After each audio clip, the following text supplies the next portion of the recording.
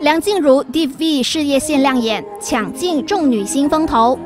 第三届 My Astro 至尊流行颁奖典礼上，梁静茹除了是大赢家之一，亮眼的事业线更是打败秀美腿的阿 sa 以及女神装扮的叮当。